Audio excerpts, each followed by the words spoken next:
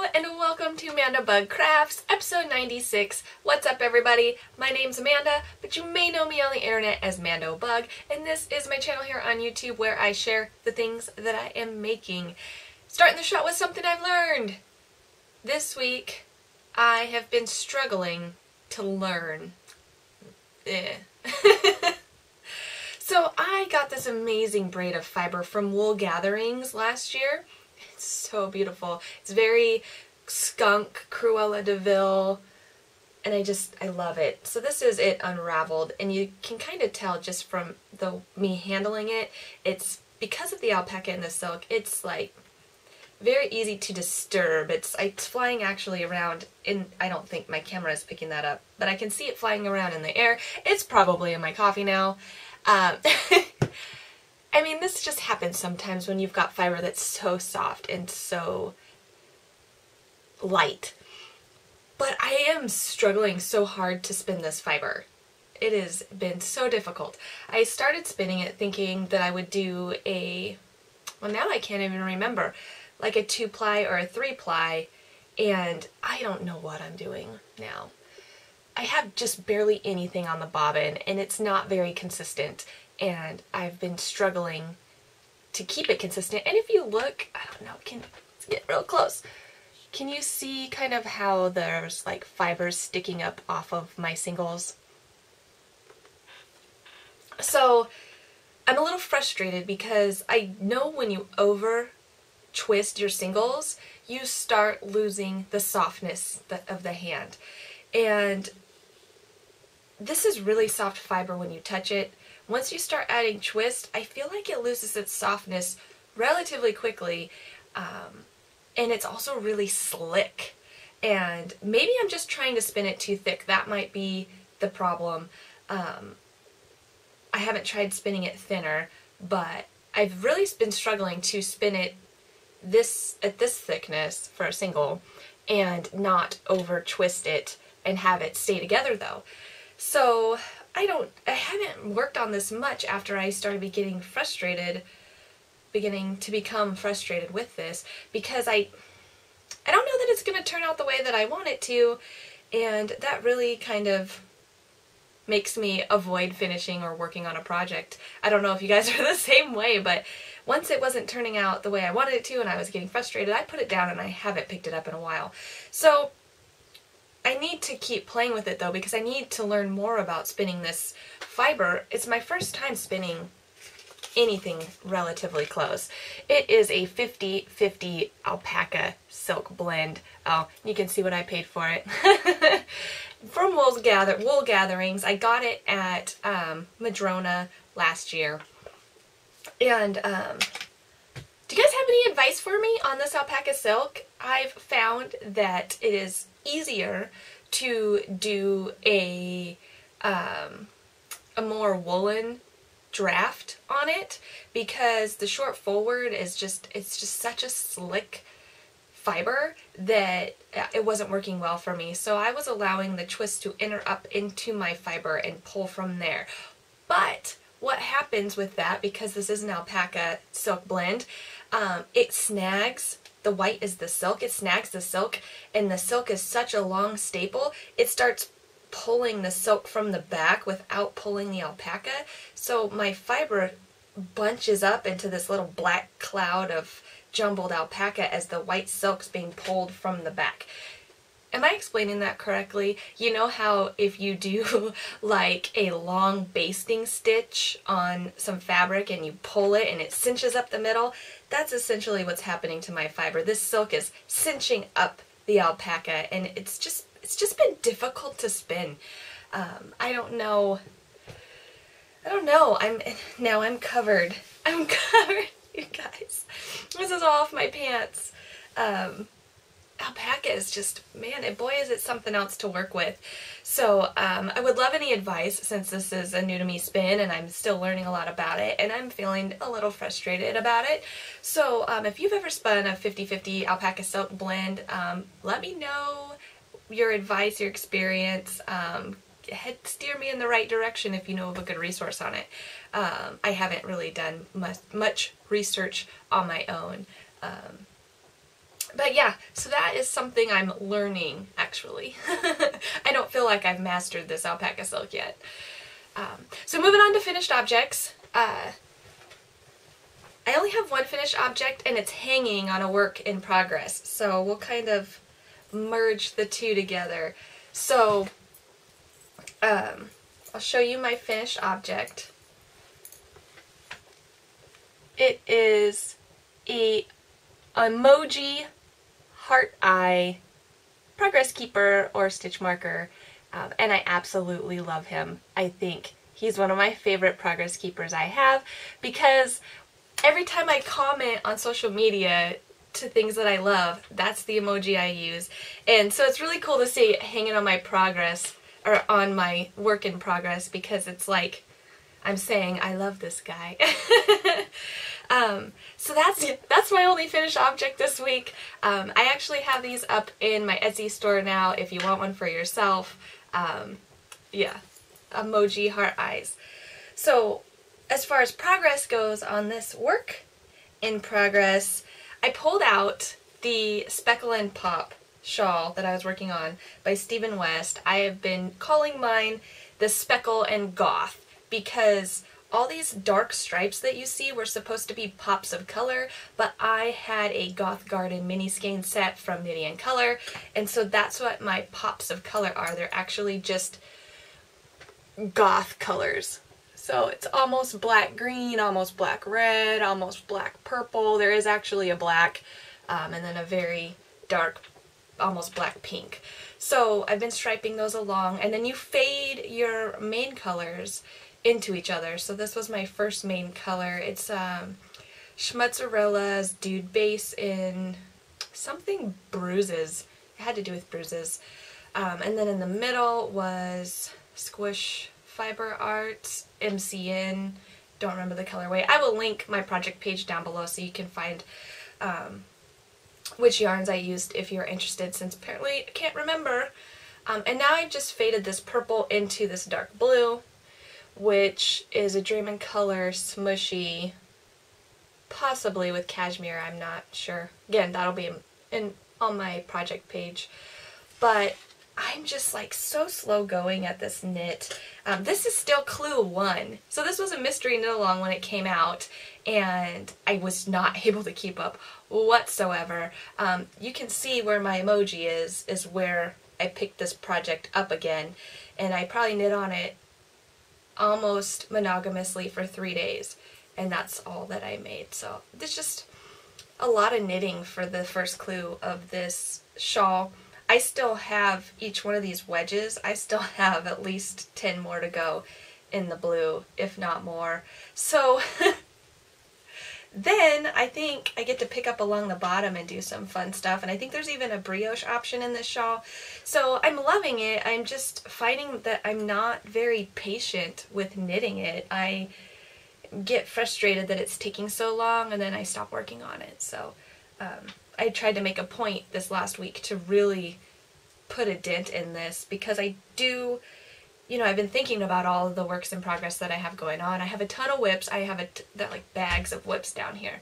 Um, and you know, I try to tell myself, you know, if I really don't want to work on it, I need to frog it. And this was one of those projects I visited, visited, and was like, okay, am I gonna legitimately work on this, or do, should I just frog it? Am I not frogging it because it's got all the mini skeins and that's basically lost yarn, or you know? So I decided, no, we'll, we'll see. If I can knit on it for a couple days, that means I really still want to finish it. And I did, so I think it's going to go back into hibernation though. I've got some other projects I want to work on instead. So, you know, that's the struggle, right, you guys? Like, you get excited about a project, you start it, and you get into it, and then you get excited about another project, and then another project, and I'm having a hard time deciding, like, figuring out why I'm not finishing projects and I need a better system for starting projects to make sure that I'm only starting projects that I want to finish. But I really think a lot of it comes down to me not being patient with the project. Um, yeah, I just... I don't know. Maybe that makes me a product knitter way more than a process knitter. I enjoy the process, but a lot of what guides what I make is the product. So, um, food for thought. I only have one other work in progress that I've actually been working on since I last talked to you guys, and that is my handspun socks. So these are the opposing three ply sock yarn that I spun. It was superwash Targhee from Cottage Dye Works, which, you know, I don't, I hate to say things without remembering 100% if it's fact, but I think that I was doing some research and I saw that Cottage Dye Works is actually a local to me dyer, which I didn't know um, because this fiber was gifted to me from someone not local. So, um, but yeah, I'll have to check out some more of her stuff. But um, I don't think there was a color name for the fiber, uh, but it was this very fun springy sunset, not sunset, well kind of sunset, you know, sometimes because of, I think, pollution, the sunset can be orange and pink, but there are also the, some green in here, but the green's really been toned down after the spin. Um, in in the cake the green almost just looks yellow. Uh, there was a lot of white space in the braid that I spread out throughout the spin and so you can definitely see that showing up throughout my socks. The white just kind of puts like a whitewash over the whole thing and tones the whole socks down because the fiber was very bright and vibrant. Um, it's very interesting to um, to consider these things. Okay, so I do just need to knit up the leg of these socks and next time I am looking forward to having a gusset heel flap from the toe up. Um, there is a couple of heels that are like that in that sock knitting masterclass book that I shared last video. So, um, yeah, but that's all I've been working on this week. I you know, I mentioned to you guys that I'm working more hours, so I have less downtime at home, and I'm trying to adjust to the new work-life balance. So, um, so yeah, a lot less crafting than usual, um, and I'm still trying to find the best times to record. I This morning is up, I'm up before everyone else, although Emily is now up. You may hear her popping her bubble wrap that I use to wrap my charm. She found some and asked me if she could pop it, so... Um, moving on to current events. So the last week of my springtime basket crochet along sponsored by Skacel has been released and you have until April 15th to get a photo of your finished basket sent in to them to be entered for prizes. It's US and Canada only. Um, and then also my Oh Yes cowl, I extended the deadline for that out through the end of March. So I think that's like a week left to finish up a cowl and get it posted in the thread. Um, I think I may have said one post per person, but for this one I'm going to go ahead and allow as many cowls as you make you can post. So um, I do need to fix that. Um, I didn't realize I had done that until someone brought it up. I think I may have um, just kind of copied and pasted rules from another craft-a-thon, craft-along that um, that had one entry per person. So um, moving on to Let's Chat. So it was shearing day at Lori's house a couple weeks ago, I think. And so that was a lot of fun. Um, I think there were eight or nine sheep that got shorn that were sheared. uh, and so I just spent the day with Lori. Um, she made chili that was so yummy and I just helped skirt the fleeces as they came off the sheep and bagged them up.